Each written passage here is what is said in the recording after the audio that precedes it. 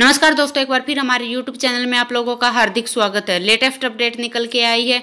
कि कर्मचारियों के लिए बहुत बड़ी खुशखबरी है। राज्य सरकार ने कर दी है कर्मचारियों के लिए बहुत बड़ी घोषणा। किन कर्मचारियों के वेतन में होगा बहुत बड़ा उछाल। तो दोस्तों, हम आपको सब डिटेल में बताएँगे। अगर आप हमारे चैनल पर फ़र्स्ट टाइम विज़िट कर रहे हैं तो चैनल को लाइक कर दीजिए, सब्सक्राइब कर दीजिए, साथ ही साथ वेलाइकन को भी बजा दीजिए, ताकि गवर्नमेंट या पेंशन से संबंधित जितनी भी न्यूज़ आती है, उनकी नोटिफिकेशन आप लोगों के पास तुरंत पहुँच के। तो करते हैं वीडियो को स्टार्ट बिना किसी देरी के। दोस्तों, सरकार ने पुजारी और मंदिर कर्मचारियों को भी छठे वेतन आयोग के तहत सैलरी उपलब्ध कराने की घोषणा की है।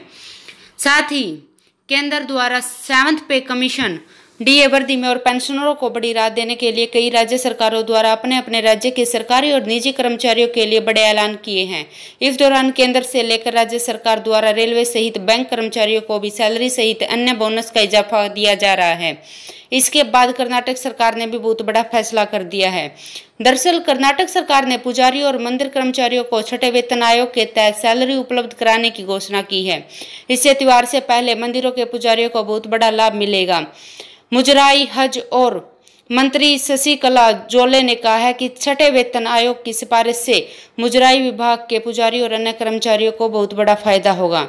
यहाँ पत्रकारों से बात करते हुए शशिकला जोले ने कहा है कि मुजराई कर्मचारियों और पुजारियों को भी एक नया स्वास्थ्य बीमा कवर के तहत लाया जाएगा, जिसमें सैंतीस हज़ार कर्मचारियों को लाभ होगा।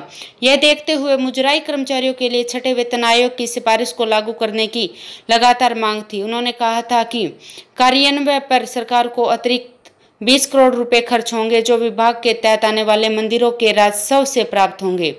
विभाग ने I D M A S के शुरू करने की योजना बनाई है, जिसमें मंदिरों की संपत्ति रूट मैप सेवा सेवाओं आदि के बारे में पूरी जानकारी शामिल है।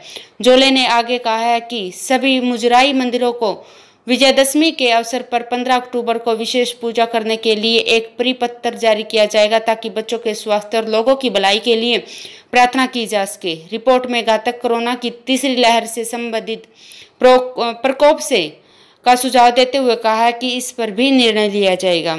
तो दोस्तों, आज के लिए इतना ही। मिलते हैं नेक्स्ट वीडियो में। तब तक के लिए जय हिंद, जय भारत।